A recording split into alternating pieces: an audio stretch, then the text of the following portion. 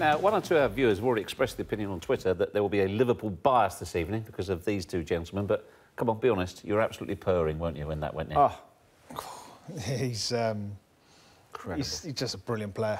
He's and, and the, the moment, uh, like he had a great World Cup, um, and he's just come back. I think it was brilliant. They rested him for a couple of games because you watch him play his low sense of gravity over the last five, six years. And I know we've been disappointed one or two seasons during them because we, that's how highly we think of him. I believe he's one of the best players in the world. I love watching him play. He's dynamic. He beats people. He, I don't think there's. I'm trying to think if, if you were a defender, who you'd. I think if you said who would you rather not play against, he'd all, he'd be in the top one or two of every defender in the Premier League, and that's compliment itself. If you want to be Messi, Ronaldo like, your end product's got to go up. I know he's not a central striker, but Salah scored all those goals from wide, and he's only done it for a year. Mm-hmm. Hazard's been doing it for a long time, but he's a one in three in terms of goals. Now his assists are up there with mm. really high numbers. Yeah. But his goals are one in three. now, the reason I think he should be one in two is because of his ability. Yeah.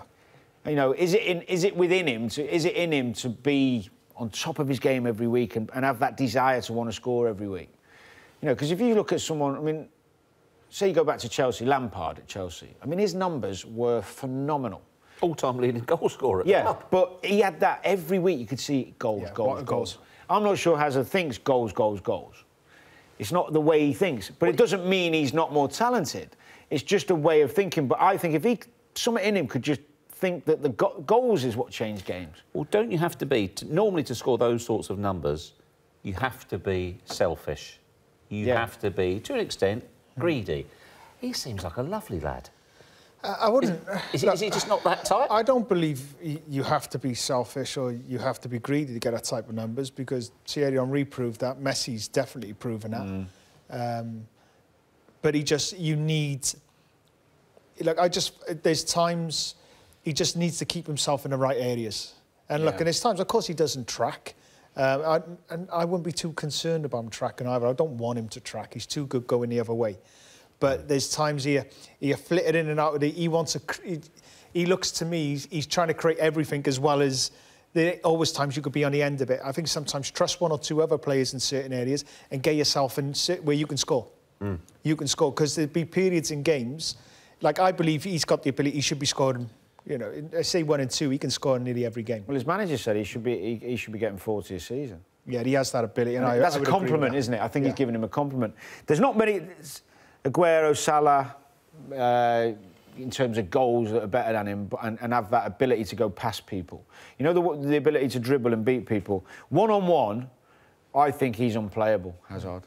I can't think of someone who I think could cope with him one on one. Yeah, and and, and that means people have to double up on him and create space. Watching him play is a joy. you have to double up on it. That's how that's how good. He, and I tell Well, you they, where he's. they tried that there. Yeah, but I tell you what, yeah, Moreno, unfortunately. Um, but I tell you what, what impressed me, and this is even just watching him, you know, really close up, is how good he is to, to, to his back towards the defender. Unbelievable. He's not like usually we see a lot of players like I couldn't play with my back towards a defender.